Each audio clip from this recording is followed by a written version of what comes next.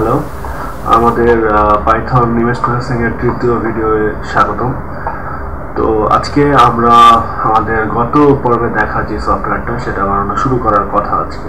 কিন্তু আমার ওই গত দিনের পরে মনে হলো যে আসলে সরাসরি করে যাওয়ার আগে আমাদের কিছু বেসিক ধারণা আসলে থাকা উচিত। আমি জানি না কার কতটুকু আসলে আইডিয়া আছে। তো যতটুকু আসলে অ্যাটলিস্ট থাকা দরকার ইমেজ প্রসেসিং সম্পর্কে, ততটুকু আগে আজকে আমরা কথাবার্তা বলব সেগুলো নিয়ে। এই তো আসলে ছবি কম্পিউটার যখন আমরা তুলি, সেটা আসলে কীভাবে থাকে? ছবি এরকম থাকে, তাই না? এরকম একটা এরিয়া নিয়ে থাকে এবং প্রত্যেকটা জায়গায় জায়গায় জায়গায় জায়গায় আলাদা আলাদা হচ্ছে গিয়ে পিক্সেল এটা একটা পিক্সেল এটা একটা পিক্সেল এটা খুবই ক্রুড একটা ছবি। তো যাই হোক না কেন, এরকম ছবিটা এরকম অসংখ্যভাবে ভাগ করা থাকে, তাই তো? আর প্রত্যেকটা একটা করে পিক্সেল পিক্সেল ছিল অনেক ছোট। কিন্তু আমি এখানে বড় করে আঁকলাম। প্রত্যেকটা পিক্সেলে একটা করে রং থাকে, তাই তো? তো ধরি একটা সাদা কালো ছবি, যদি এটা সাদা কালো কোনো ছবি হতো, তাহলে যেটা হতো প্রত্যেকটা পিক্সেলে একটা করে ভ্যালু থাকতো জাস্ট একটা। ধরো এখানে জিরো এখানে হচ্ছে গিয়ে দশ এখানে ধরলাম একশো, এরকম অনেক কিছু হতে পারে। তো এখানে ধরলাম দুইশো পঞ্চান্ন। হয়ে গেল, যাই হোক। তো এই দুশো পঞ্চান্ন আর জিরো। নিয়মটা হচ্ছে এরকম যে জিরো মানে হচ্ছে কালো, দুশো পঞ্চান্ন মানে হচ্ছে গিয়ে সাদা সরি হ্যাঁ সাদা। মানে দুশো পঞ্চান্ন হচ্ছে সবচেয়ে বেশি, জিরো হচ্ছে গিয়ে সবচেয়ে এটা কম। এটা যে কোনো কিছুর জন্য সত্যি, ঠিক আছে? যখন সাদা কালো ছবি, তার মানে কি? রং কয়টা সাদা আর কালো। কালো মানে কি? কালো অ্যাকচুয়ালি বলি কোনো কিছু নাই। সাদা অ্যাবসেন্ট হচ্ছে কালো। সো এখানে কোনো সাদা থাকবে না। সো পুরো জিনিসটাই কালো। এখানে সাদা একদম ভরে দেবো আমরা। সো এখানটা হচ্ছে গিয়ে দুশো পঞ্চান্ন ওকে তো এই টাইপের ছবি যেগুলা, এদেরকে বলে হচ্ছে গিয়ে গ্রে স্কেল গ্রে স্কেলের ছবি বলে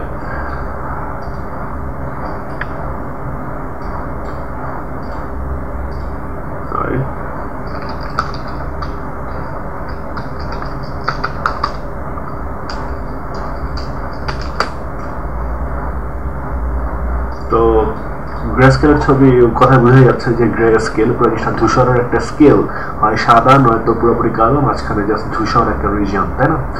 তো এটা গেল গ্রে স্কেল ছবি। আরেক ধরনের ছবি যেটা আমরা নর্মালি আসলে ইউজ করি নর্মালি ছবি আমরা তুলি যেটাতে, সেটা হচ্ছে কি আট জিবি ছবি, তাই না? আট জিবি ফটো আর জিবি আট জিবি মানে কি? রেড গ্রিন ব্লু মৌলিক তিনটা কালারের সমন্বয়ে তৈরি একটা ছবি। এখানে অ্যাকচুয়ালি পুরো জিনিসটা গ্রে স্কেলের মতো। শুধু পার্থক্য হচ্ছে গিয়ে গ্রে স্কেলে মানে সাদা কালো ছবিতে যে একটা লেয়ার থাকে, একটা ম্যাট্রিক্স থাকে আচ্ছা ম্যাট্রিক্সের কথা পরে আসতেছি জাস্ট একটা লেয়ার থাকে, সংখ্যার একটা সারি সারি সারি সারি সংখ্যা। এখানে যেটা হয় সেটা তিনটা লেয়ার থাকে ওকে প্রথম লেয়ার হচ্ছে গিয়ে রেডের জন্য, তারপরের লেয়ার হচ্ছে গ্রিনের জন্য তারপরে লেয়ার হচ্ছে গিয়ে ব্লু এর জন্য। তো এখানে যেটা ছিল গ্রে স্কেলের জন্য, যে গ্রে স্কেলের এই পয়েন্টে জিরো বলতে বোঝাচ্ছি যে এখানে কোনো কালো রং নাই। এখানে কালো রং সামান্য, এখানে কালো রং আরেকটু বেশি, এখানে কালো রং সবচেয়ে বেশি। এটা যদি একটা আট জিবি ছবি হতো, এবং আট জিবি ছবি শুধুমাত্র আর পোর্শনটা যদি এটা হতো আর পোর্শন দেখতে একই রকম, সেখানে জিরো মানে কি? এখানে কোনো লাল রং নাই। এখানে সামান্য একটু লাল রং আছে, এখানে আরেকটু বেশি লাল রং, এখানে সম্পূর্ণ মানে লালের হাইয়েস্ট পরিমাণের লাল এখানে আছে। তো এটা ধরলাম আর এখন ধরলাম জি জি এর ক্ষেত্রেও একই রকম, প্রত্যেকটা এই পিক্সেলের মধ্যে জি এর একটা ভ্যালু থাকবে আর এর একটা ভ্যালু থাকবে ব্লু এর একটা ভ্যালু থাকবে। সেরকম যেটা পাবো অ্যাকচুয়ালি এই পিক্সেলে আমি তিনটা ভ্যালু পাবো আট জিবি ছবিতে। ওকে তিনটা ছবি পাবো এবং তিনটা ছবিতেই, তিনটা তিনটা ছবি তিনটা লেয়ারে তিনটা ভ্যালু পাবো। একটা রেডের জন্য, একটা গ্রিনের জন্য, একটা ব্লু এর জন্য। এবং তিনটাকে একসাথে যদি আমি মিক্স করি, তাহলে যে কোনো একটা কালার আমরা পাবো। এইরকম এখানে তো প্রত্যেকটা কালার তো আসলে আট জিবি রিমিক্স তাই না? এই যে এখানে দেখা যাবে, এখানটায়। এটা অবশ্য অন্য একটা ইয়াতে নিচ্ছে H S L H S L এই ফর্মেটটা হচ্ছে কি আমাদের আসলে পাইথনে কাজে লাগে। যাক, আমরা আজকে ওই ইয়াতে যাব না। রেড ব্লু গ্রিন কিরাম করে চেঞ্জ হয় সব কিছু এখানে আছে। ওকে আট জিবি প্রত্যেকটা কালার অ্যাকচুয়ালি লাল, সবুজ আর নীলের একটা কম্বিনেশন ওকে তার মানে এই পয়েন্টে রেডের একটা ভ্যালু আছে, এরকম। গ্রিনের আরেকটা আছে, এর উপরের লেয়ার ব্লু আরেকটা আছে, তার উপরের লেয়ার ওকে তো এটা হচ্ছে গিয়ে রঙিন ছবি। রঙিন ছবি, এটা হচ্ছে গিয়ে সাদা কালো ছবি এবং আরেক ধরনের ছবি আছে যেটা খুব ইন্টারেস্টিং ওটাকে বলা হচ্ছে গিয়ে binary image binary image binary ইমেজের কাজ কি? বাইনারি ইমেজ খুবই জোস একটা ব্যাপার। বাইনারি ইমেজ যেটা হয় ক্লিয়ার করে নেই। বাইনারি ইমেজও একই রকম অনেকটা, যে প্রত্যেকটা জায়গায় একটা করে পিক্সেল ভ্যালু থাকবে। কিন্তু এই পিক্সেল ভ্যালুগুলা শুধুমাত্র দুইটা স্টেট থাকবে বাইনারি সংখ্যার মতো।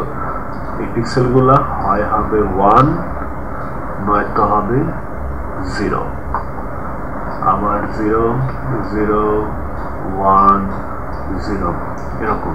অর্থাৎ বাইনারিতে যেটা হবে, শুধুমাত্র হয় সাদা থাকবে, নয়তো কালো থাকবে। অর্থাৎ কালো রং সম্পূর্ণভাবে কালো হবে, নয়তো সম্পূর্ণভাবে পুরো জিনিসটা সাদা থাকবে পিক্সেলটা মধ্যবর্তী কোনো কিছু নাই। অর্থাৎ আমরা যদি আসলে সাজাই যে কমপ্লেক্সিটির হিসাবে যে সবচেয়ে কমপ্লেক্স স্ট্রাকচার হচ্ছে কি একটা জিবি ছবির স্ট্রাকচার তার থেকে কম হচ্ছে একটা গ্রে স্কেল একটা জিবিতে তিনটা লেয়ার ছিল ফুললি একটা ম্যাট্রিক্স আসলে ম্যাট্রিক্স না? প্রত্যেকটা রো আছে কলাম আছে, আলাদা আলাদা column column row row so actually প্রত্যেকটা ছবি আসলে ম্যাট্রিক্স এটা আসলে সাধারণত বোঝা উচিত আমাদের যে প্রত্যেকটা ছবি একটা করে ম্যাট্রিক্স এবং আট জিবি পিকচারে প্রত্যেকটা ছবির জন্য তিনটা ম্যাট্রিক্সের লেয়ার থাকে। ওকে ম্যাট্রিক্স এখানে ম্যাট্রিক্স বলতে আমরা আমাদের ওই যে খাতার ম্যাট্রিক্সের কথা বলতেছি। এদের কাছে হচ্ছে সবই একই। তো যাই হোক, তিনটা লেয়ার থাকছে। আর হচ্ছে কি যেটা গ্রে স্কেল ইমেজ সেখানে শুধুমাত্র একটা লেয়ার এরকম একটা শুধুমাত্র আমাদের ম্যাট্রিক্স থাকবে। কিন্তু সেই ম্যাট্রিক্সের ভ্যালুগুলো পয়েন্টের ভ্যালু পিক্সেলের ভ্যালুগুলো জিরো থেকে দুশো পঞ্চান্ন পর্যন্ত অনেক কিছু হতে পারে। আর বাইনারি হচ্ছে গিয়ে একটা লেয়ারই থাকবে, কিন্তু ভ্যালুগুলো হতে পারবে শুধুমাত্র জিরো অথবা এক দুটার একটা। এই। তো এই হচ্ছে গিয়ে তিন ধরনের আমাদের মেইনলি আমরা এই তিন ধরনের ছবির স্ট্রাকচার ইউজ করব। নর্মালি যেটা আমরা করি যে, ধরলাম আমরা নীল রঙের একটা বলকে ট্র্যাক করব ওকে নীল রঙের বল সবচেয়ে ভালো ট্র্যাক করা যাবে কখন সবচেয়ে ভালো নীল রঙের কখন দেখব। যখন ব্যাকগ্রাউন্ডটা নীল হবে না, তাই না? সো নর্মালি এটাই হয় যে আমরা ব্যাকগ্রাউন্ড একটা রাখি লাইন ফোনের রোবটের ক্ষেত্রে। নিচটা যদি কালো হয় লাইন হয় সাদা। বা নিচটা যদি সাদা হয় লাইন হয় কালো। এই টাইপের তো এখানেও সেম জিনিস যে ব্যাকগ্রাউন্ড হবে এক কালারের এবং তার অপোজিট একটা কালার হবে হচ্ছে কি আমার অবজেক্ট আমরা যেটা করব, ধরলাম যে একটা ছবি। ছবিটার মধ্যে শুধুমাত্র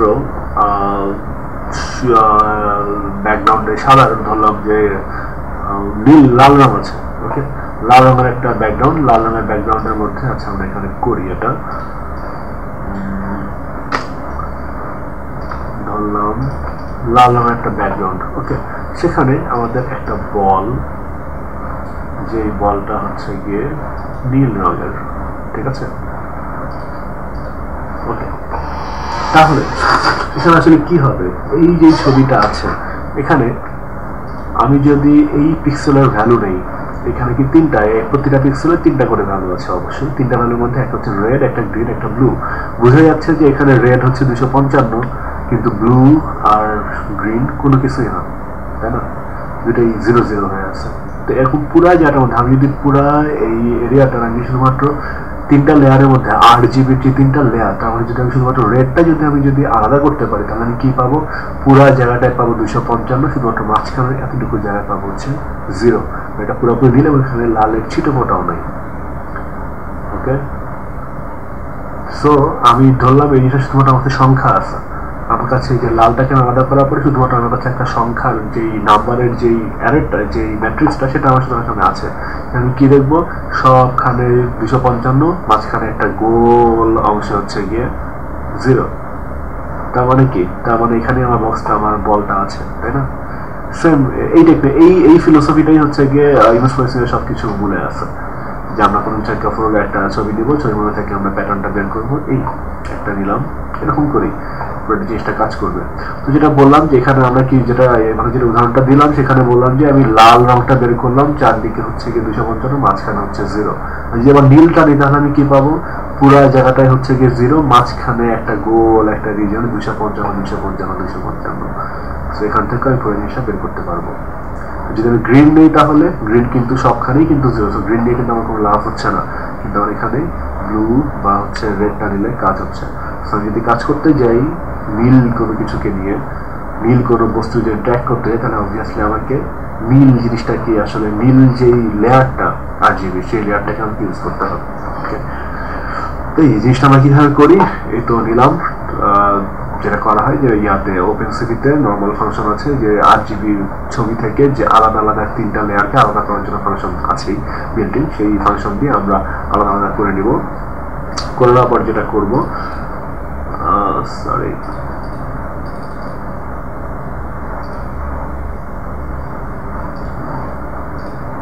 আলাদা আলাদা প্যাটার্ন আলাদা আলাদা লেয়ারগুলো আমরা আলাদা করে নিব আলাদা করে নেওয়ার পর এখানে চিন্তা করে দেখেন যে আমরা যেটা নিলাম, যে ছবিটা, যে পুরো জায়গাটা নীল, মাঝখানে হচ্ছে গিয়ে লাল। নীল যখন আমি আলাদা করলাম, পুরো জায়গাটা লাল, মাঝখানে নীল। যখন আমি নীলটাকে আলাদা করলাম, সবখানে জিরো মাঝখানে হচ্ছে কালো। এটা অ্যাকচুয়ালি কি হয়? এটা গ্রে স্কেল একটা ইমেজ অ্যাকচুয়ালি বাইনারি হবে, পুরো জায়গাটা কালো, পুরোটা সাদা, যদি আমি সাদা করে হিসেবে চিন্তা করি। কিন্তু নর্মালি যেটা হয়, মাঝখানে অনেক সময় সব ছবি তো জাস্ট তীব্র লাল, তীব্র নীল হবে না। কিছু হবে হচ্ছে গিয়ে,